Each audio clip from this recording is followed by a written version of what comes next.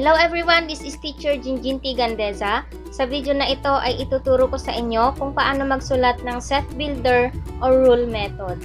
Ang set builder or rule method, ito yung set is defined by stating a property or properties that describe all members of the set. Ibig sabihin, ide-describe mo kung ano yung nandoon sa loob ng brackets. Kung gusto nyong malaman kung paano magsulat ng set builder, just keep on watching. Hello mga anak shis! Welcome to Math TV PH. Ang channel na ito ay tungkol sa math tutorials, lectures, or discussions na Tagalog at Taglish na dedicated sa lahat ng mga estudyante. Kung interesado ka, please like, subscribe at i-click mo na rin ang notification bell para ma-notify ka kapag may bago akong upload na video. Isang mapagpalang araw sa inyong lahat. Sa last video ko ay tinuro ko ang roster or listing method.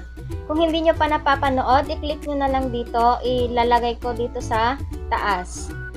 So ngayon, ang, pag, ang ituturo ko ngayon ay set builder or rule method. Meron tayo ditong example letter A. Set B with an element of 1, 3, 5, 7, 9, 11, 13, 15. Sa rule method or set builder method, kailangan isipin mo kung ano yung makakapag-describe doon sa given na set. Ano sa tingin nyo ang mga to? Meron tayong numbers. Pero what kind of numbers? Ito ay mga odd numbers. So sa pagsulat ng rule method, maglagay kayo ng capital letter D kasi iyon ang given is equal to bracket then gamitin natin yung X sa pagsulat ng set builder, kailangan meron parati to. X, such that, ganito, X, then yung description niya. Ano ba yung description niya? Is an odd number. So, ganun lang kasimple. Letter B. Set E with an element of Monday, Tuesday, Wednesday, Thursday, Friday, Saturday, Sunday. Kung i-describe nyo to, ano tong mga to? Ito ay days. Pero anong days? Ito ay days in a week. Isulat natin to sa set builder. So, E, capital letter E, is equal to bracket. O, pwede namang yung X ay palitan natin ng Y. So, Y, such that Y is, is the day, day in a week. So, meron na kayong set builder form. Letter C naman.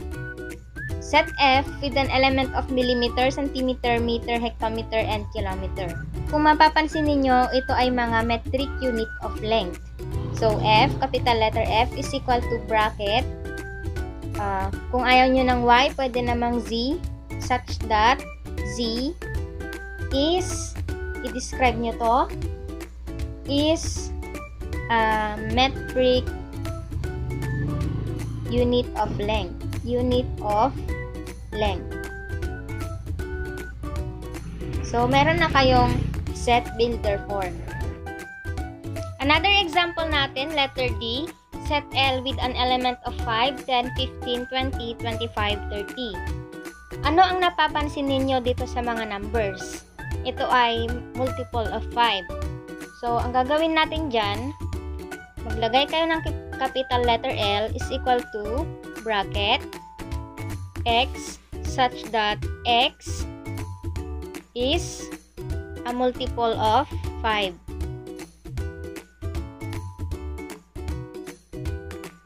Then, bracket. Next, letter E, set K with an element of 1, 2, 3, 5, 7, 9, 11, 13, and 17. Ito ay mga numbers din, pero anong klaseng numbers? Anong type of numbers ito? Ito ay mga prime numbers. Ibig sabihin, set K is equal to bracket. Uh, kung ayaw niya ng X, pwede namang A such that A is a prime number.